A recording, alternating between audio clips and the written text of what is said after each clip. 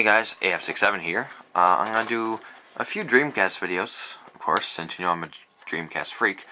Well, fan, I would call it. Um, with some of the accessories that are for the Dreamcast. I mean, not really accessories, but, you know, things that are for the Dreamcast. First is the Sega Dreamcast controller. This is a blue swirl, not a red swirl, so get used to it. This is a European or PAL version. Not much, not much difference. Let's start off with the size of this beast. It's huge. it's as big as the original Xbox controller, maybe a little bit smaller, but you know Microsoft ripped them off. Now the design is, I like it. It's really cool. Uh, it feels like a gaming controller. yeah, has very hard, not really. Yeah, it has a very good sturdy grip to it. Not you know, not grip, but you know everything at Sega is very sturdy. It's not easy to break. But yeah, it has a very smooth plastic to it, which I think is nice because, uh, you know, don't want something sticking to your hands. Now the back, uh, is these little cave-ins here. Well, I don't know, what to call cave-ins. Just have these open spaces so you can grip around the controller like that. Helps hold your hands in. Now, let's go on with the controls for this thing. The D-pad is you know, it's a good D-pad, don't get me wrong, but the damn thing's so slippery. If you're in the, like, crazy moments in the game, your hand slips off, you're like, oh shit, gotta get back on there. Uh, I don't know, I hope, I wish Sega made a better D-pad for this thing. I mean, it's good. It's not bad, but it could have been improved. I imagine, I'm not sure if it's true, but I think there might be, uh, I know there's third-party companies that make better controllers, but I wonder if there's any, like, grips you can get for this. There is, someone tell me. Alright, then your start button. Very hard plastic as well. It pauses your games, start your games. Basically, that's it. And it looks exactly like the power button. Well, the power light. for the Sega Dreamcast. If you flip upside down, it looks like it when you're looking at it. I'm not sure what the hell Sega was doing with that. To that. It's one of the more interesting looks of a start button. Usually most start buttons are here for most consoles today. this one got down here. Alright, now we're going to start with the buttons that control most everything. Next to the analog stick. A, B, Y, X. Now, these buttons work fine. And if your button gets sticky, it's not easy to... I mean, it's not hard to take it apart. So, yeah, good luck with that. Now, unless you noticed, maybe a lot of you have, these buttons are not at the same height. I mean, they are, but they some of them bulge out a bit more than others. The X button is about the farthest in. The Y and A buttons are a little out because you can see the little inside here. The B button's out the most. They want to keep the buttons at the same height, but the buttons themselves are all made like straight down. So if you know what I mean by that, the B button is bigger than the X button. these two buttons are about the same size mean, it's not a big problem, but if you went from Xbox to this, which I highly doubt the younger generation would do, they'd be like pushing this button, for example, be like, what the hell is going on here? Anyway, on the back of the controller, uh, you probably saw from my earlier, is the triggers. There's your right trigger, there's your left trigger. Now, they work just fine. Now, the problem, not a problem, but the sound of these things are really loud. I imagine a lot of you know what I mean. Not a problem, but it's really weird. It's very hollow. Now the analog stick, which is the most important thing of any 3D game console. Now this one's relatively new. I got this back in December. Uh, yeah, new out of the box. Very nice. Because you can tell it's brand new because the studs are actually still on there. They're not worn away like most uh, controllers now. Yeah, so works well for analog stick. And the problem, sometimes the problem is it's made out of a hard plastic. So if you have one that doesn't have the studs on it, you might lose your like grip on the damn thing. And right now, I'm kind of losing my grip. I'm used to like PS3 or whatever having the very like non-slippery grip. You know, this controller is awesome. I mean, for its time, it's good. Today, it's still damn good. And make sure you get a controller that has a working analog stick. I'll show you the controller in a minute. it's not working. Well, I mean, the third controller, I'll show you.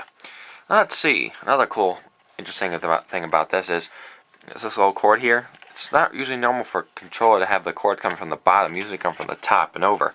But uh, because of the design of the controller, uh, most people will do it like this, which is really annoying. I don't want that cord to be holding on to. So you go into the back, and there's that little grip thing there. I never noticed this until like about a year ago. You can click it right up there, and there you go. This isn't in your way. There you go. That is pretty cool. Very nifty, Sega. Now these, this open spot here, there's another spot back here too. Uh, this is for your memory card or VMU. Right here's your VMU. This is a blue version, a blue version, a blue colored uh, VMU. There's many colors you can get. These hold up to about, I think, 200 blocks, maybe less. I don't know. Uh, I don't really count uh, how many blocks are in here. It says Dreamcast. Make sure you're using a Dreamcast memory card. All right, then you just they have lithium batteries, so you can replace these if the battery dies out outside the controller. You just put it right in the controller, and there's a little screen on there now. Uh, it'll show like what data be, is being saved. Like say you're saving a game, it'll say saving or save okay, blah blah blah blah blah. And when you're playing the game, it'll show like uh, Quake 3. It'll show Quake 3 or the symbol. Sonic Adventure will show the Sonic Adventure symbol along with characters. I think in gameplay it shows like a Chao walking across for some weird reason. Uh, Time Stalkers, it has a picture of the title. House of Dead 2 does the same thing. Shows the characters in Time Stalkers. It's, it's really cool. Now the back one is either for another memory card in case you get full, and this one, or a Rumble Pack, which is cool. I mean, this Rumble would be nice. So yeah, that's basically the default controller. So uh, yeah, pretty damn cool in my opinion. Now the other one I have, uh, I don't know if I told you, they come in different colors. This one is a blue one. I'll show you. Hold on. This is the blue. This is a blue one. I got this one a while back. Uh, the cool thing about this is, or not really one of the coolest things is, it's kind of ho it's hollow blue. It's not. It's like the N64 blue. You can see the entire motherboard inside the controller. If you look at it, it's it's big, but the space down here. Oh well. Analog stick. Uh, you can see it has the grips, but they're really worn out. Because if they're if they're shiny, it's worn out. I mean, analog stick works fine. I'm not really slipping off it. It's really, it's good. D-pad, the same thing. This one's a little tighter. A, B, Y, X buttons are a little bit more worn in because they're not clicky. And this one's dirtier. This was used. Uh, I'll have to clean this out sometime, but I'm too lazy right now. Start button works fine. This one has a red swirl. Mm, yeah. This I got the blue memory card with this one.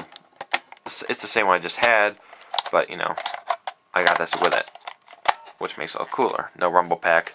Same exact click clipping thing up here. So yeah, there's your blue controller. Now hold on, I'm going to get the uh, other controller, which is a good example what controller to not get.